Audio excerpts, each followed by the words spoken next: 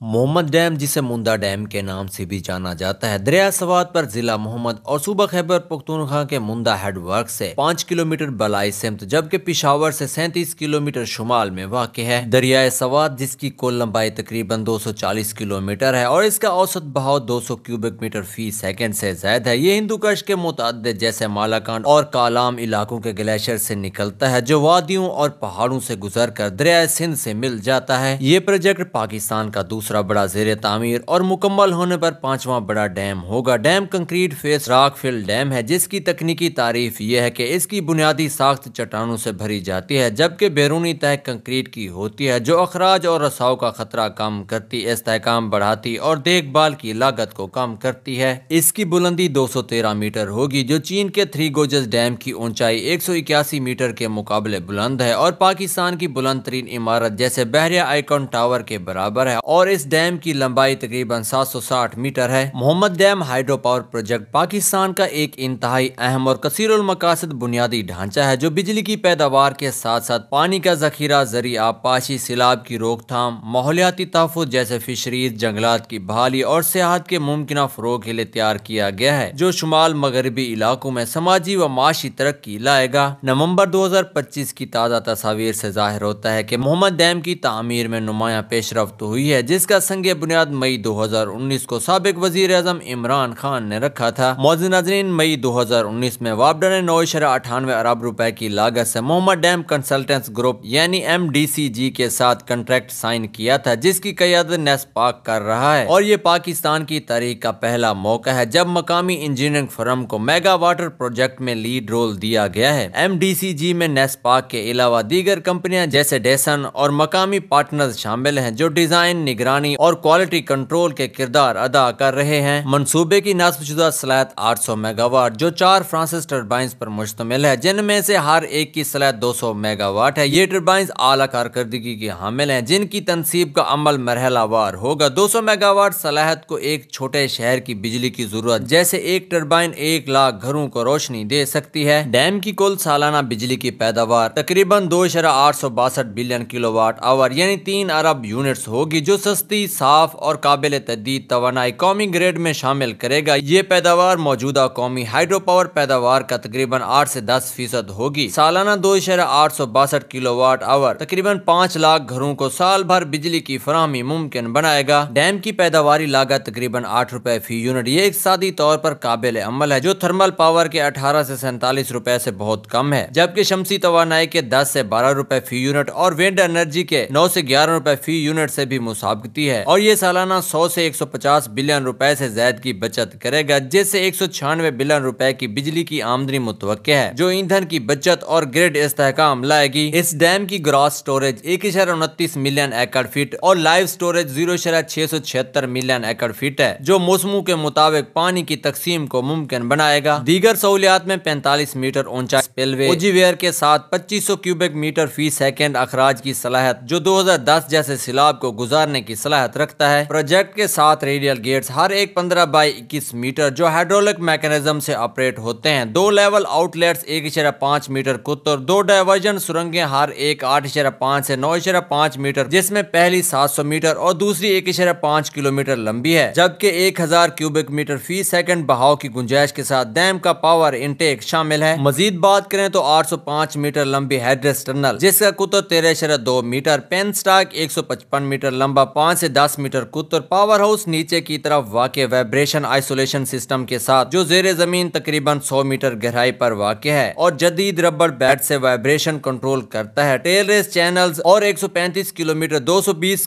kilovolt double circuit transmission line جو محمد سے مردان سب station تک روٹ پر ہے اور قومی گریڈ سے براہ راست کنیکٹ ہوگی۔ وابڈا کی ماہانہ رپورٹ سے پتہ چلتا ہے کہ نومبر دو ہزار پچیس تک پاور انٹیک اور ہیڈریس ٹنل کا کام ستر فیصد مکمل ہے۔ ٹیل ریس چینل چینلز اور دو سو بیس کے وی ڈبل سرکٹ ایک سو پینتیس کلومیٹر ٹرانسمیشن لائن کی تعمیر ساٹھ فیصد مکمل ہو چکی ہے۔ جبکہ مین ڈیم باڈی کی کنکریٹنگ کا کام بیس فیصد کمپلیٹ ہو چکا ہے۔ موزن ناظرین، بجلی کے شعبے میں آٹھ سو میگا واٹ کا اضافہ مہنگے درامد شدہ ایندھن پر انحصار کم کرے گا اور خیبر پختونخوا میں لوڈ شیڈنگ ختم کرنے میں بھی مدد دے گا۔ زراعت میں نئی آبپاشی کے لیے سولہ ہزار سات سو سینتیس سے اٹھارہ ہزار دو سو سینتیس ایکڑ کمانڈ ایریا، جس میں بائیں کنارے پر نو ہزار سترہ ایکڑ اور دائیں کنارے کنارے پر سات ہزار سات سو بیس ایکڑ زمین زیر کاشت آئے گی، جس کے لیے بائیں ٹنل چار اشارہ تین کلو میٹر دو اشارہ پانچ میٹر کتر، دائیں ٹنل تین کلو میٹر دو اشارہ پانچ میٹر کتر کے ساتھ، بائیں کنال بارہ اشارہ چار کلو میٹر تین اشارہ پانچ کیوبک میٹر فی سیکنڈ کا بہاؤ اور دائیں کنال چودہ اشارہ پچہتر کلو میٹر تین اشارہ دو کیوبک میٹر فی سیکنڈ کے بہاؤ کے لیے تعمیر کی جا رہی ہے۔ موجودہ کنالوں لوئر سوات دوابا کو اضافی پانی جو تقریباً ایک لاکھ ایکڑ کو بہتر بنائے گا، جو موجودہ سلاد پانچ سو کیوبک میٹر فی سیکنڈ سے بڑھ کر آٹھ سو کیوبک میٹر فی سیکنڈ ہو جائے گی اور یہ فصلوں کی پیداوار بھی پندرہ سے پچیس فیصد بڑھائے گا۔ مندہ ہیڈ ورکس کی نہروں کو سال بھر، جبکہ پشاور کو روزانہ تین سو ملین گیلن صاف پانی جو شہری ترقی اور عوامی صحت بہتر بنائے گا، یہ پشاور کی بیس لاکھ آبادی کے پچاس فیصد سے زائد کو کور کرے گا۔ سیلاب کنٹرول کی بات کریں تو اضافی مونسون پانی روک کر نوشہرہ چار سدہ مردان اور ثوابی اضلاع کو تحفظ، سالانہ اناسی ملین روپے کے نقصانات سے بچائے گا۔ جیسے کہ دو ہزار دس کے سیلاب میں نقصانات تقریباً دس ارب روپے تھے جو اب مکمل طور پر روکے جا سکیں گے۔ سماجی و معاشی تعمیراتی مرحلے میں چھ ہزار آٹھ سو سے سات ہزار ملازمتیں ساٹھ فیصد مقامی افراد جن میں سے کچھ کو ٹریننگ دی گئی، جیسے کہ ویلڈنگ مشین آپریشن اور سیفٹی پروٹوکولز میں ملازمتیں چالیس فیصد ہنرمند اور ساٹھ فیصد غیر ہنرمند لوگ شامل ہیں۔ طویل مدتی روزگار کی بات کریں تو زراعت، توانائی اور متعلقہ شعبوں جیسے سابقہ فاٹا کے علاقوں کا استحکام اور انضمام شامل ہے۔ جبکہ سالانہ معاشی فائدہ اڑتالیس سے اسی ارب روپے ہے، جن میں بجلی سے تیس ارب، زراعت سے بیس ارب، سیلاب کی روک تھام سے دس ارب۔ اس کے ساتھ ایندھن بچت سے سالانہ ایک ارب ڈالر سے زائد کا فائدہ ہوگا۔ اور اس منصوبے پر آنے والی لاگت آٹھ سے دس سال میں وصول ہو جائے گی۔ ڈیم کی لائف سو سال سے زائد ہے، جو ایک چرہ تین ملین ایکڑ فیٹ سٹوریج اعلیٰ کوالٹی کنکریٹ کی وجہ سے باقاعدہ دیکھ بھال پلان کے ساتھ اگلی چھ نسلوں تک فائدہ پہنچائے گا، جو انڈس واٹر ٹریٹی کے تحت پاکستان کی پانی کی